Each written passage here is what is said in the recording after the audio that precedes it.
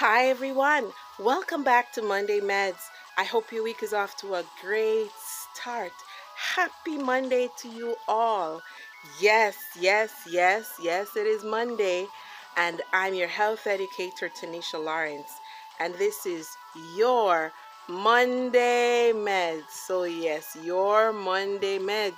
So, all right, it is Monday. It is the second Monday of November. I know for you, those of you in North America, specifically in the US, you are celebrating Veterans Day today. So, happy Veterans Day to all of you. And um, we thank God for those who have fought for freedom over the years, and um, some of them paid the ultimate price. And uh, we remember them and their families today. All right, so there's so many things happening this week. So many things happened last week since we actually um, we actually met. Yes, um, the elections. For many, it was the results were disappointing that um, Donald Trump became president. But again, like I said to you, it doesn't matter who wins, there will be unrest. There will be political unrest. Um, and there, like I said before, there will be issues that are um, a tiebreaker. It's beyond a tiebreaker. The want of a better word. And so, um, I know many people are disappointed. Many people, I heard that one lady in particular, she was crying for days. And um, I know many individuals are scared, especially people of my color. Yes, being in America at this time, you can be seen as an immigrant, even if you're born American. And so, for those of you who are there, my encouragement for you is to walk around with your documents everywhere you go because you never know when ICE will want to check or maybe even arrest you for being illegal. And so these are some crazy times that I know um, our world has evolved to. But let us know that God is in control and it doesn't matter who is president. Jesus is king. Doesn't matter who is president, Jesus is king. We know that there was Hurricane Rafael.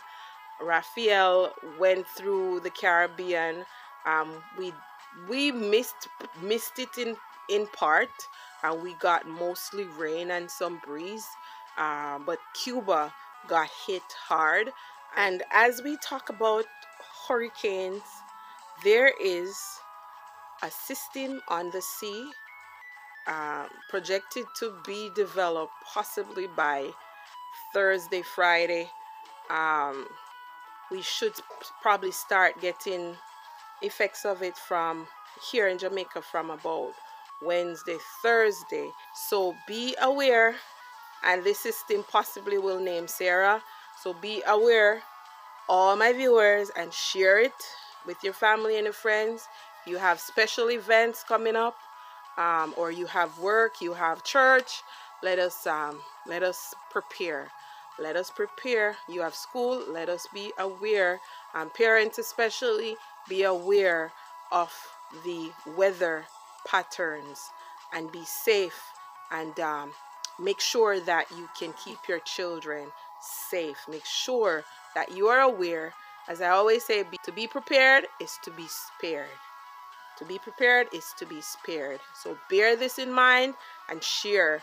And um, for more updates, you can check Mr. Weatherman, Ryan Shields. Yes, we love you. Thank you for sharing um, very important and thorough information with us. We appreciate you. Yes, we appreciate love you here in Jamaica. Thank you so much and God bless you. There was an earthquake.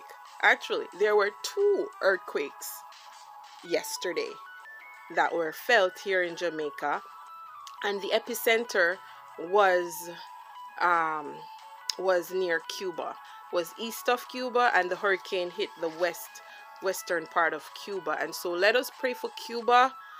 Let us pray for Cuba. Let my Jamaican and Caribbean family. Let us pray for our Caribbean neighbor. Cuba is actually our closest neighbor. Yes, our closest neighbor. And listen, you need to be extra, extra careful about how you relate to your neighbor, your closest neighbor. Very important.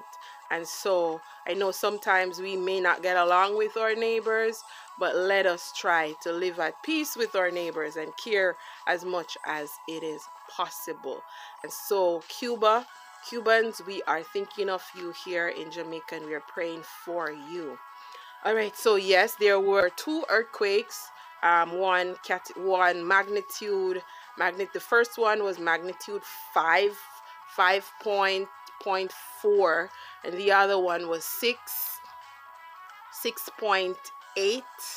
Yes, um, the six point eight one we felt um, at home, and um, like I said, I don't like to think about earthquakes, and I know I talked about earthquakes a few weeks ago right here, and it is important that we take the necessary precautions.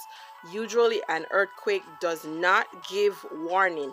The only warning, or the two main warnings that you may get, or you may, and this is just before it hits, is that the extreme heat, and then just before it hits you will hear sometimes you'll hear a rumbling there's a rumbling sound and my husband actually told me that he heard the rumbling it was rumbling for a few seconds or so and then we felt the shaking and um, he was the one who actually pointed it out to me that it was an earthquake and then i realized that yes it's an earthquake and so it is important for us to know what to do know what to do when there is an earthquake.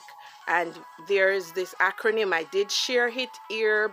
I shared it here before um, from doctors Joseph and Amy Alton in their book, The Survival Handbook. The Survival Handbook. And um, I'll share it again for us to remember for emphasis.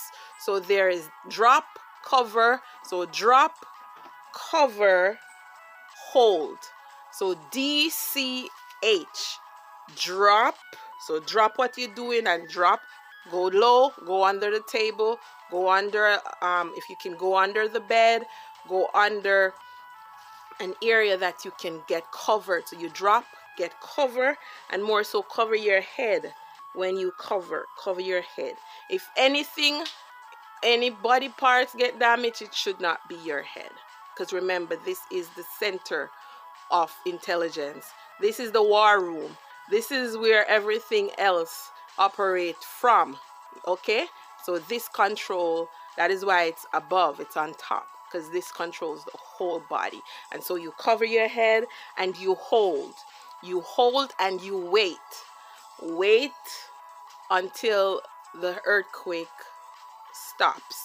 Do not try it naturally. You're going to want to run outside because the earthquake gets tend to get our brains, um, our body and our brain um, shaken up. And so you may get um, disoriented and um, feel scared and you want to naturally run outside but it is safer to be inside and um, we are told that the door jambs are easy, our safest place.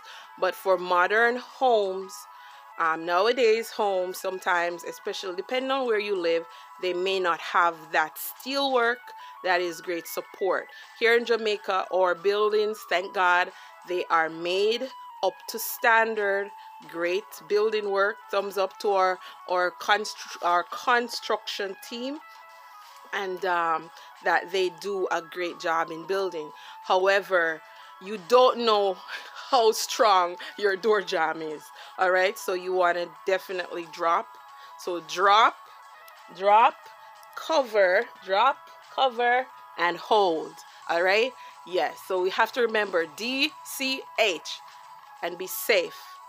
Be safe. And so there have been some aftershocks um, that are felt in Cuba and there were some felt in Jamaica um, in the eastern part of the island listen there I would want to say to you or I wish I could say to you that there will not be any more but as it gets hotter the likelihood of more earthquakes happening is high. And so we are higher and so we have to know what to do to keep safe to keep safe ourselves and to keep our family safe especially if it happens on a day like yesterday when most people were home or if you were at church. Um, you should know what to do if you're at church or if you're at work or if you're at school or even if you're in the supermarket and so this is something that we need to remember. Drop cover hold. Drop cover hold. As we wrap up monday medz today i am encouraged by the word of god that says, When you see these things, as Jesus said to his disciples in Matthew 24, when you see these things, there'll be earthquakes in diverse places. When you see these things, look up because our redemption draws nigh. And so, as a Christian, these these happenings in our world should be an encouragement to us that the prophecy of Jesus' soon return is sure. And so let us be ready and let us get others ready. I pray you'll have a blessed week, everyone, and God be with you. Support our ministry, please like, share, comment, and subscribe. Thank you so much for watching.